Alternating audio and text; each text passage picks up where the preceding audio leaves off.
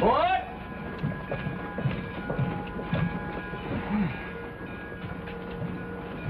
Are you the man from Washington? Why, yes. Chester G. Beeman, representing the Department of Interior. Uh, my card. Then you're the one I'm supposed to meet. Well, thank goodness I wondered why nobody was here.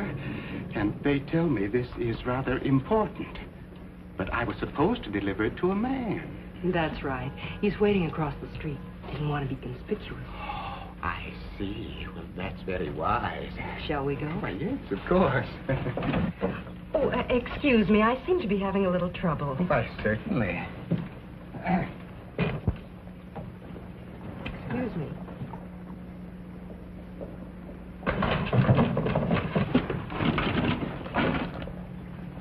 Go get the horses, Lil.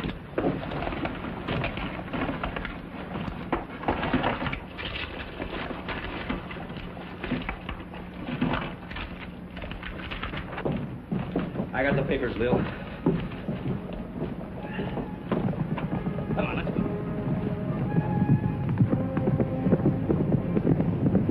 I hope Mr. Beeman's not sore at us. What? Well, for not meeting him when the train got in. Oh, the train just left. Give him a minute to stretch his legs. Hey, look, Pat. Hey, what happened to you? I don't know exactly. I stepped off the train, a girl met me, and I guess she knocked me out. A girl? Knocked you out? Oh, I get it. She was a real knockout. what for? Well, I don't know. I was carrying an official document to an agent named Gallagher. Is it gone? Yes. That's me. I'm Pat Gallagher. This is my partner, Stoney Crockett. How do you do? You Hello. say a girl met you? Yes, the one you sent. We didn't send any girl. Well, what was she after? Mr. Beeman, there's a piece of land near here that no state, federal, or territorial agents have any jurisdiction over. It's sort of a no man's land. You see, the outlaws for hundreds of miles have been congregating in the town of Hangfire. And nobody's got the right to go in there and get them. Oh, is that what they call the outlaw strip? That's right, Mr. Beeman. We were waiting for orders from Washington to go into Hangfire and clean out that town. You were carrying those orders. Well, then if the outlaws have those papers, they can con- continue to run free. Yeah, well, we can't make a move without new orders. We're right into Hangfire and get them back, Stoney. Well, can I do anything to help? After all, it was my fault. Yes, what did this girl look like, Mr. Beeman? Well, she was about so tall, blonde, sort of blue-eyed. Uh, isn't there something particular about her that you can remember? Well, now, let me see. Yes, her garter. Her garter? Mr. Beeman. Well, I've never seen one like it. It was tan with a lavender ribbon, and it had a silver dollar on it. Hey, wait a minute. It was tan and had a lavender ribbon and a silver dollar? That's right. What was the date on it?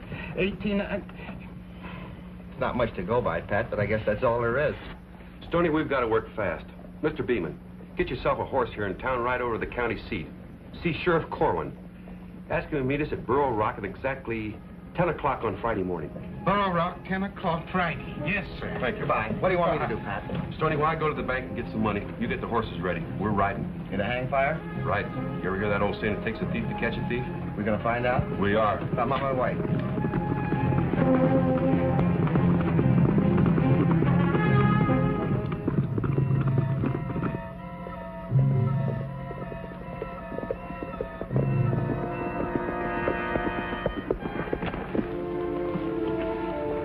Here it is, Lil. Here's where this little piece of paper is going to make us a fortune. I sure hope you're right this time. A whole town full of outlaws. Only one like it in the world. Before too long, there won't even be one. Well, let's get the right boys together for a meeting, and I'll uh, lay down the law.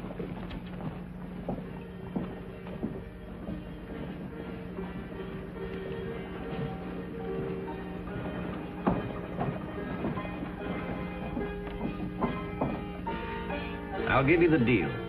It's all been laid out, over a month's work. We tell you where to pull a job and when. Lil and I take half of everything you get. A half? 50-50. We'll take over this place as a headquarters. It'll be run by Lil. I thought this was my place. It was. Now it's ours.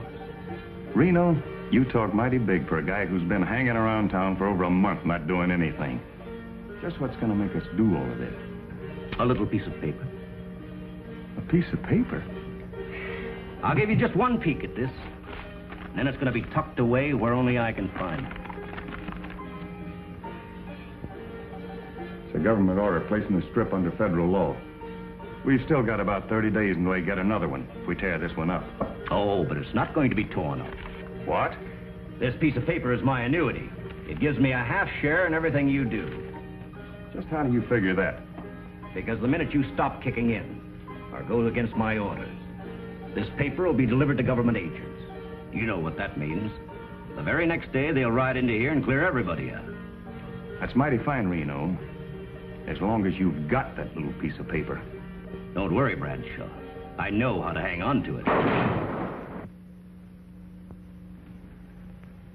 See what he means? All right. You're the dealer for now. So what happens? Lil, have you got that list of jobs I made up? Right here, Reno.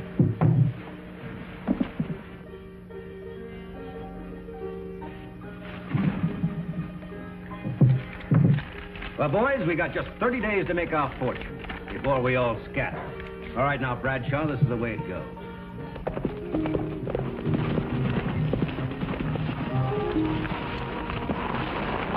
When we cross that river, Stoney, we're not federal agents anymore. We're outlaws. Oh, it's kind of tough to think that way, Pat. What? Well, now, I've had real nice bringing up. You'd never know it. Don't forget what we talked about when we get into town. You mean about us being bank robbers? Right. If they ever find out who we really are, we won't last two minutes.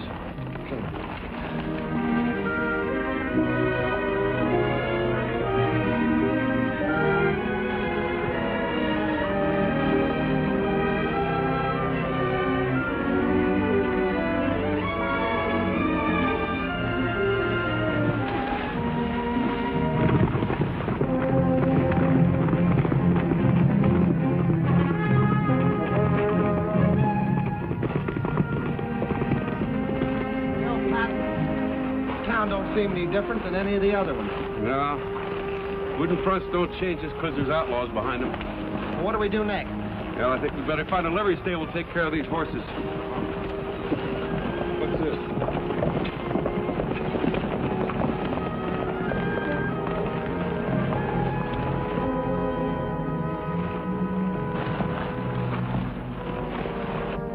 Look, they got an express box. Right in broad daylight, too.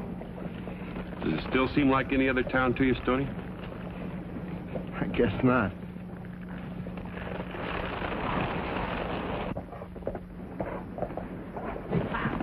I know that bald head any place. That's Zerbo. Ah, good day, gentlemen. Something in the equine line? Or do your steeds require Zerbo's expert service? Oh, you again. I might say the same thing. What are you doing in this town, Zerbo? Well, that's a rather tragic tale, gentlemen. Yeah, I hate sad stories. I'll take care of the horses. Yeah. Uh, you recall my on, famous Zipper. product, Zerbo? Oh, The- yeah. The magic hair restorer? I've been trying to forget it.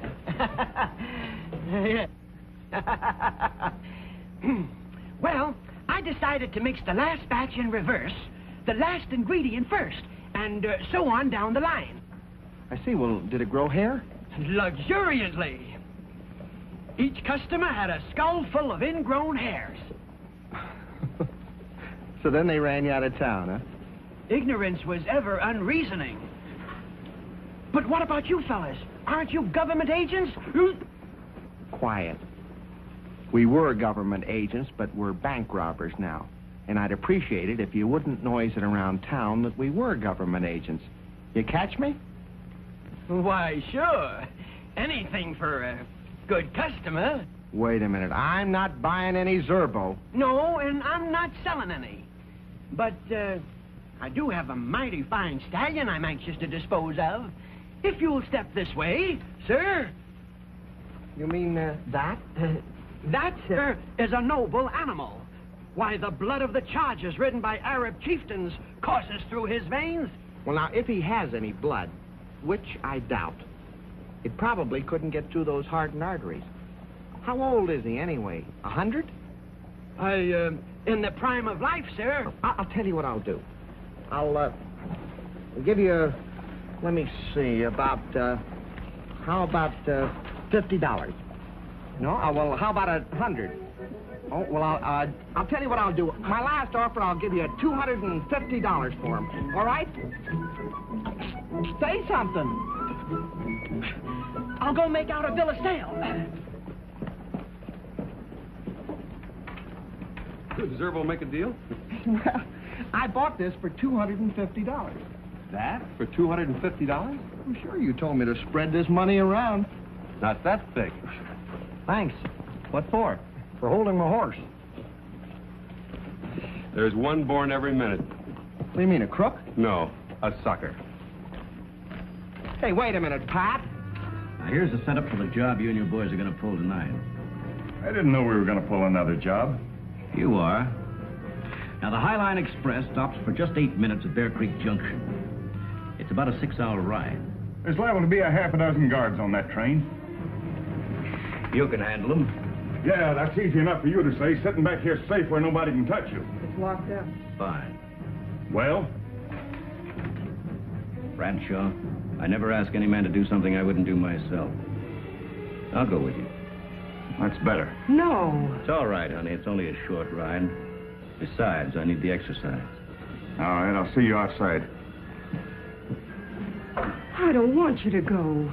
Oh, you're not worried about me, are you, Lou? After all, if I don't come back, there's all that money in the safe. Oh, You hadn't thought about that. I was thinking about you. Sure, sure. See you in the morning. Uh, Reno, what about that government paper? What about it? Well, hadn't you better leave it with me to be safe? It'll be safe enough. You know, Lil, I trust you, but not that far.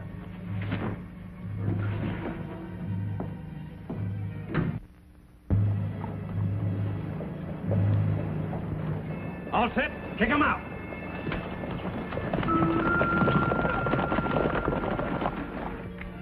Five hundred limit. Small game, eh? That's right.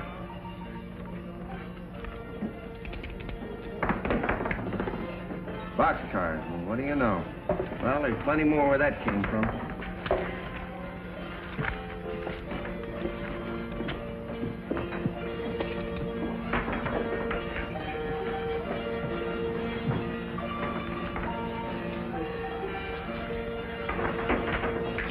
Well, that beats me.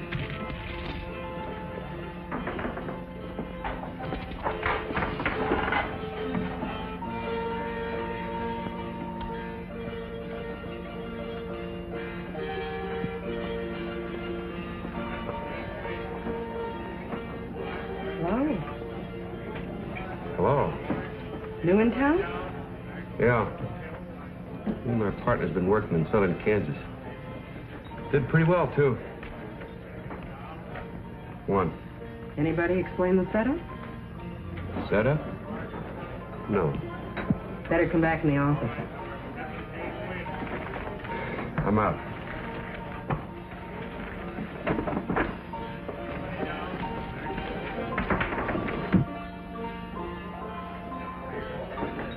Why, he had the winning hand. Four kings. You say you've been working in Kansas.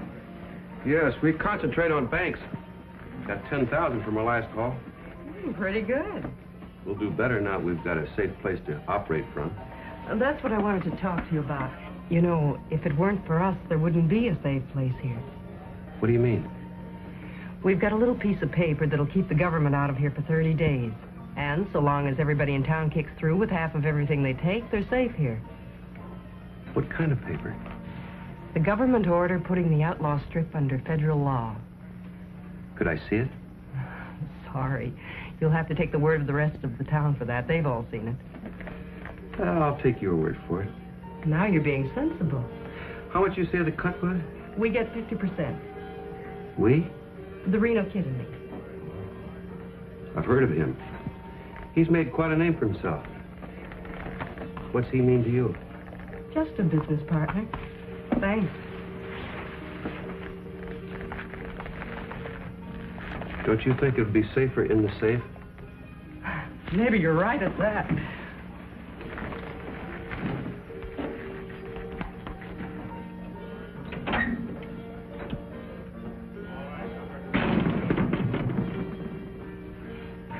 There.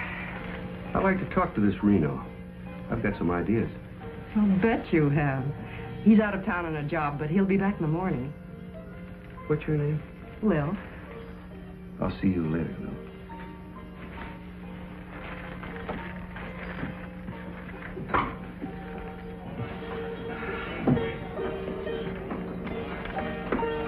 Well, I guess I'll leave now. Our dice are kind of cold. I'll be back later. Okay. Thanks for all the luck.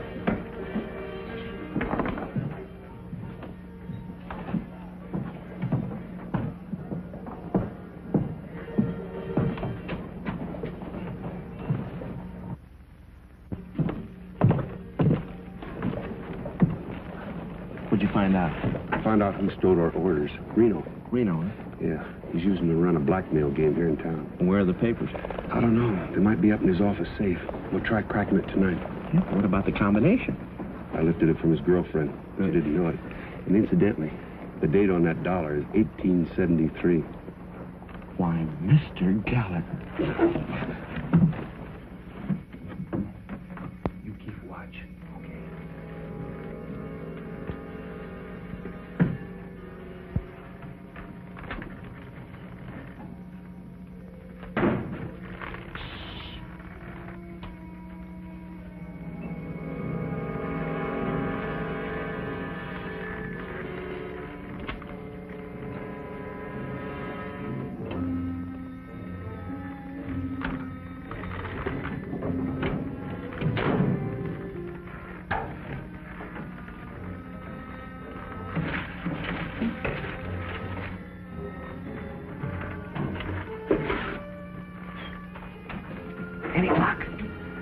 In here.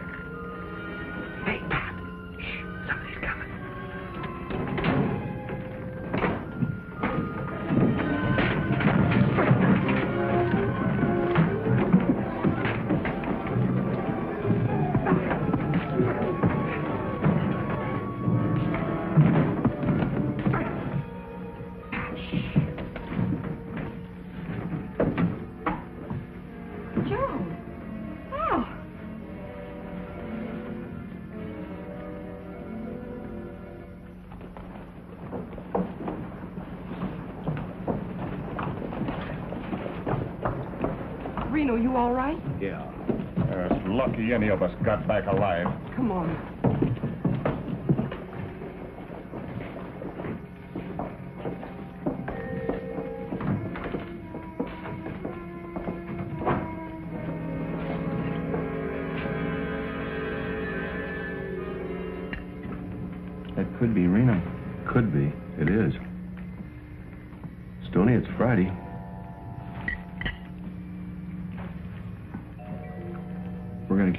Appointment, we better get moving.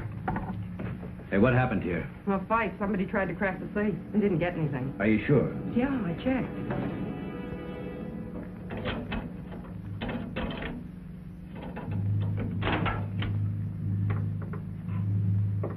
Where'd all this extra dough come from? Well, a couple of boys flew into town. They robbed a Kansas bank.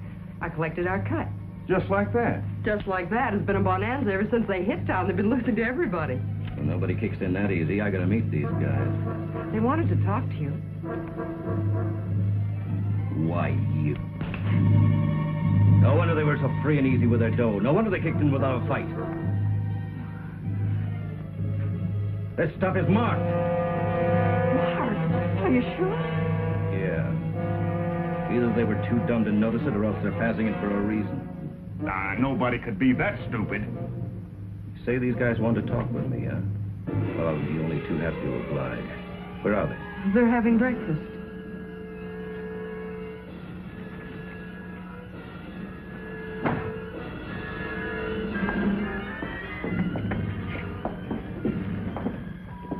I understand you're anxious to see me.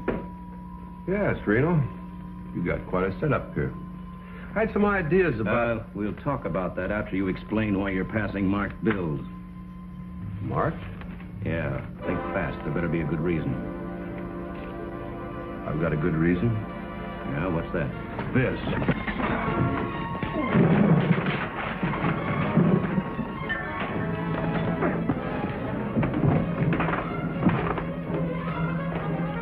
Come on, here. Let's ride.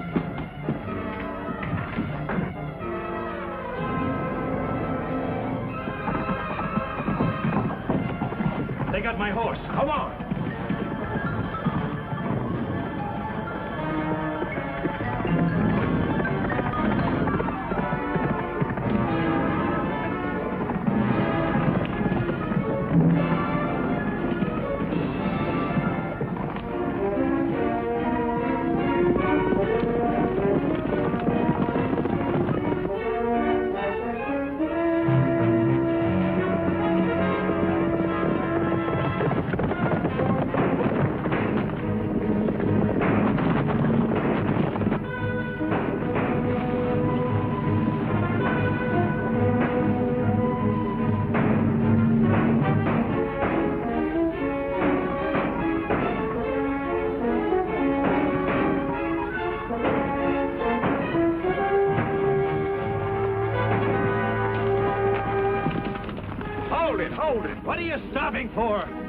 We can't cross that line. We've got to. If they get away, none of us is safe. What? Come on.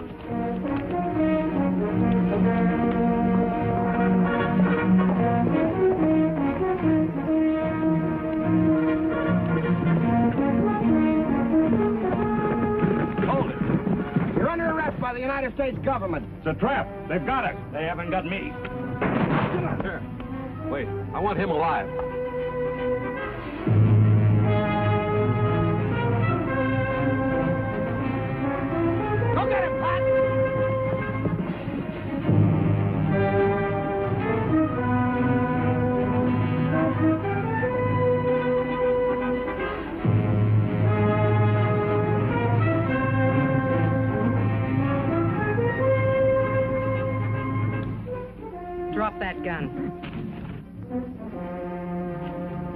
You double-crossing... I mean it, Reno. You know you don't mean this, Lil. We can make some sort of a deal. No deals, Reno. You're finished. That's what you get for slapping a lady.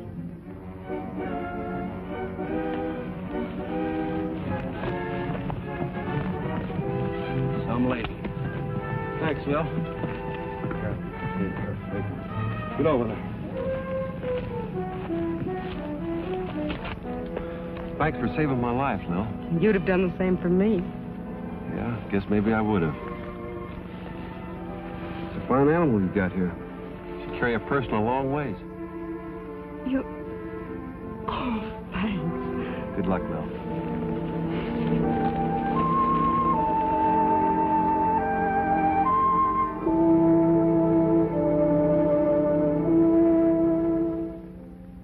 I'd call out a good day's work.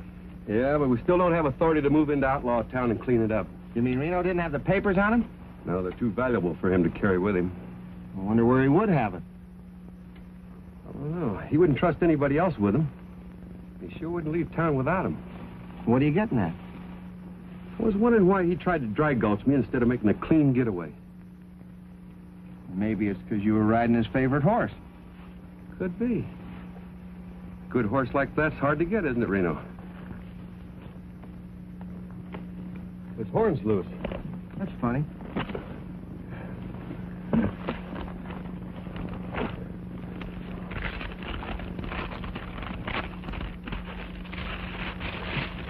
There's our order, Stonies. Move into Outlaw Town. Yep, and that's our engraved invitation.